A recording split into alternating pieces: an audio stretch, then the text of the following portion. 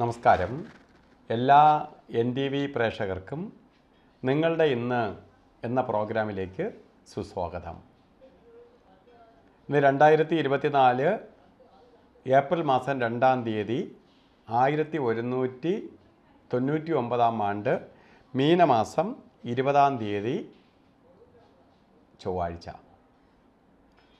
ഇന്നത്തെ നക്ഷത്രം വന്നിരിക്കുന്നത് പൂരാടം നക്ഷത്രമാണ് വന്നിരിക്കുന്നത്. പൂരാടം നക്ഷത്രം പൊതുവേ നല്ല നക്ഷത്രമാണ്. ശുഭനക്ഷത്രമാണ്. നക്ഷത്രങ്ങളിൽ പൂർണ നക്ഷത്രവും കൂടിയാണ് പൂരാടം. പക്ഷേ ഇന്നത്തെ ദിവസം ചൊവ്വാഴ്ചയാണ്.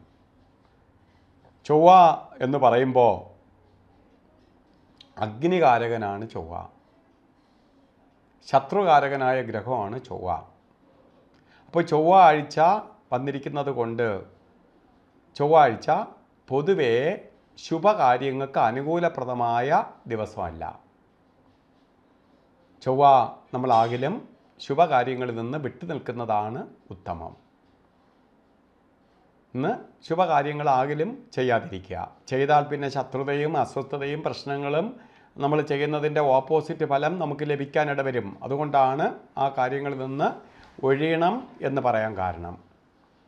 പക്ഷേ ഇന്ന് പൂരാട നക്ഷത്രം ബർത്ത്ഡേ വന്നിട്ടുള്ളവർ മീനമാസത്തിലെ പൂരാള നക്ഷത്രം ബർത്ത്ഡേ ആയിട്ട് വന്നിട്ടുള്ളവർ വളരെ സൂക്ഷിക്കണം. ബർത്ത്ഡേ എന്ന് പറയുമ്പോൾ നമ്മൾ ഒരു വർഷത്തെ ഫലത്തെ ചിന്തിക്കുന്നതാണ് എന്ന് ഞാൻ പറയും. പല എപ്പിസോഡുകളിലും പറയുന്നുണ്ട്. കാരണം എന്താണ്? വാർഷിക ഫലത്തെ ചിന്തിക്കുന്നത് കൊണ്ടാണ് നമ്മൾ ശ്രദ്ധിക്കേണ്ടത്. വാർഷിക ഫലത്തെ ചിന്തിക്കുമ്പോൾ ചൊവ്വ ദിവസം വന്നതുകൊണ്ട് നിങ്ങൾ ഒരു വർഷത്തെ ഫലത്തെ ചിന്തിക്കുമ്പോൾ അഗ്നിഭയം ഉണ്ടാവാം ആക്സിഡന്റ് ഉണ്ടാവാം കേസ് വഴക്കുകൾ വരാം ഇങ്ങനെ സാമ്പത്തിക നഷ്ടം ഉണ്ടാവാം കാര്യതടസ്സം വരാം ഇങ്ങനെ പലതരത്തിലുള്ള ബുദ്ധിമുട്ടുകൾ നിങ്ങൾ അനുഭവിക്കാനിടയുണ്ട് എന്ന് ഇൻഡിക്കേഷൻ തരുന്നതാണ്. അതുകൊണ്ട് എന്ത് ചെയ്യണം? വളരെ ശ്രദ്ധയോടുകൂടി വളരെ സൂക്ഷിച്ച് പോവേണ്ട സമയമാണ്. വളരെ ശ്രദ്ധിച്ച് പോവേണ്ട സമയമാണ്. കാരണം പലതരത്തിലുള്ള ബുദ്ധിമുട്ടുകൾ നിങ്ങളെ തേടി വരും.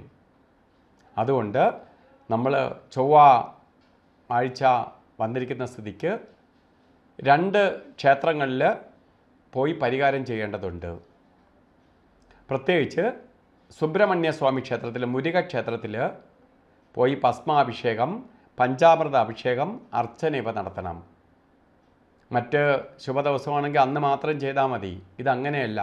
പറ്റുന്ന ചൊവ്വാഴ്ചകളിൽ ചെയ്തു പോകണം. അതുപോലെ ഭദ്രകാളി ക്ഷേത്രത്തിൽ ചൊവ്വാഴ്ച ദിവസം കുങ്കുമാർച്ചനയും നടത്തിപ്പോണം അപ്പോൾ കുറേ ഇതിന്റെ കാഠിന്യം കുറഞ്ഞ് നമുക്ക് വലിയ ദോഷങ്ങളൊന്നും വരാതെ കടന്നു പോകും. നമുക്കൊരു സൂചന തരുന്നു എന്നാണ്. ഈ ആഴ്ചകളിൽ വരുന്നത് നമുക്കൊരു വർഷത്തെ സൂചനയെ തരുന്നതാണ്. അപ്പോൾ ഇന്നത്തെ ദിവസം നമുക്ക് ബർത്ത്ഡേ വന്നിട്ടുള്ളവരും പ്രത്യേകിച്ച് ബർത്ത്ഡേ വന്നിട്ടുള്ളവർ അല്ലാത്തവരും വസ്ത്രധാരണത്തിന് ശ്രദ്ധിക്കണം. ചൊവ്വയുടെ നെഗറ്റീവ് കുറയ്ക്കാനായിട്ട് ചൊവ്വയുടെ പോസിറ്റീവ് എനർജി നമുക്ക് ലഭിക്കാനായിട്ട് റെഡ് കളറിലുള്ള വസ്ത്രം. അപ്പോൾ റെഡ് നമ്മളെ വസ്ത്രധാരണത്തിൽ റെഡ് കൂടെ ചുവപ്പ് വസ്ത്രവും കൂടി ചേർന്ന് ഉപയോഗിക്കണം. അല്ലെങ്കിൽ എന്ത് ചെയ്യണം? ഒരു ചുവന്ന കർച്ചീപ്പെങ്കിലും കയ്യിൽ കരുതണം. അതേപോലെ തന്നെ നമുക്ക് ഭാഗ്യദായകമായി തീരാൻ വേണ്ടി ഇതൊക്കെ ചെയ്യുന്നതിനൊപ്പം തന്നെ ഇന്ന് നമുക്കൊരു ശുഭകാര്യത്തിന് നല്ലതല്ല എന്ന് ഞാൻ പറഞ്ഞു. ശുഭകാര്യം ചെയ്തേ തീരുള്ളൂ. ഇന്നത്തെ ദിവസം മാറ്റിവെക്കാൻ പറ്റാത്ത അവസ്ഥകൾ ഉണ്ടാവുമെങ്കിൽ ഈ ദിവസം നമുക്ക് ചില കാര്യങ്ങൾക്ക് വളരെ ശ്രദ്ധിച്ച് ചെയ്യേണ്ടതാണ്. ഒരേ ഒരു കാര്യമേ ഉള്ളൂ. നമുക്ക് എന്തെങ്കിലും ചെയ്തേ തീരുള്ളൂ എങ്കിൽ അഭിജിത്ത് മുഹൂർത്തം തിരഞ്ഞെടുക്കുക മാത്രമേ വഴിയുള്ളൂ. ഇന്ന് അഭിജിത്ത് വരുന്നത് പന്ത്രണ്ട് മണി നാല് മിനിറ്റ് തൊട്ട് പന്ത്രണ്ട് മണി അമ്പത്തിരണ്ട് മിനിറ്റ് വരെ നാൽപ്പത്തെട്ട് മിനിറ്റ് നേരമാണ് ശരിക്ക് അഭിജിത്ത് മുഹൂർത്തം. അതുപോലെ നമുക്ക് ഒരിക്കലും ഉപയോഗിക്കാൻ പാടില്ലാത്ത രണ്ട് സമയങ്ങളാണ് യമകണ്ഠ ഗുളിയകാലവും. ഇന്ന് യമകണ്ഠ കാലം വരുന്നത് ഒമ്പത് മണി ഇരുപത്താറ് മിനിറ്റ് തൊട്ട് പത്ത് അമ്പത്തേഴ് വരെയും ഗുളികകാല സമയം വരുന്നത് പന്ത്രണ്ട് മണി ഇരുപത്തിയെട്ട് മിനിറ്റ് തൊട്ട് ഒരു മണി അമ്പത്തൊമ്പത് മിനിറ്റ് വരെയും. ഇന്നത്തെ രാവുകാല സമയം ആണ് നമുക്ക് ശ്രദ്ധിക്കേണ്ടത്. രാവുകാല സമയം സാധാരണയായിട്ട് രാവുകാല സമയം ഇന്ന് എഴുതി വച്ചിരിക്കുന്നത് ജാതകത്തിലൊക്കെ നോക്കുമ്പോൾ ശരിക്ക് ഒന്നര മണി മുതൽ മൂന്ന് മണി വരെ നിട്ടിരിക്കും. ഇട്ടിരിക്കും അപ്പോൾ ശരിക്ക് അപ്പോൾ ശരിക്ക് മൂന്നര മണി മുതൽ അഞ്ച് മണി വരെയാണ് രാവുകാലം. അപ്പോൾ ശരിക്ക് മൂന്ന് മണി മൂന്നര മണി മുതൽ അഞ്ച് മണി വരെയാണ്. ഇപ്പോൾ മൂന്ന് തൊട്ട് നാലര മണി വരെ എന്ന് രാഹുകാലം കലണ്ടറിൽ ഇട്ടിട്ടുണ്ട്.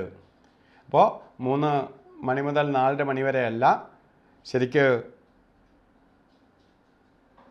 മൂന്ന് മണി മുപ്പത് മിനിറ്റ് തൊട്ട് അഞ്ച് മണി വരെയാണ് രാവുകാലം. അപ്പോൾ രാവുകാല സമയം യാത്രയ്ക്കോ ഒന്നാമത് അപകടങ്ങളൊക്കെ ഉണ്ടാവുന്ന ദിവസമാണ് ചൊവ്വാഴ്ച. അപ്പോൾ ഈ സമയം പൂർണമായിട്ടും രാവുകാല സമയം ശുഭയാത്രയ്ക്ക് മാറ്റിവെക്കുക ശുഭയാത്രകൾ ചെയ്യാതിരിക്കുക. അപ്പോൾ ഇന്നത്തെ ദിവസം ശുഭകാര്യങ്ങൾക്ക് അനുകൂലപ്രദമായ ദിവസമല്ല. എങ്കിലും പ്രാർത്ഥന കൂട്ടിപ്പോവേണ്ട ദിവസമാണ്. അപ്പോൾ ഇന്നത്തെ ദിവസം എല്ലാവർക്കും ഒരു അപകടവും വരാതെ എല്ലാവർക്കും ശത്രുതയൊന്നും ഐശ്വര്യപ്രദമായി തീരട്ടെ എന്ന് സർവേശ്വരനോട് പ്രാർത്ഥിച്ചുകൊണ്ട് നിർത്തുന്നു. നന്ദി നമസ്കാരം.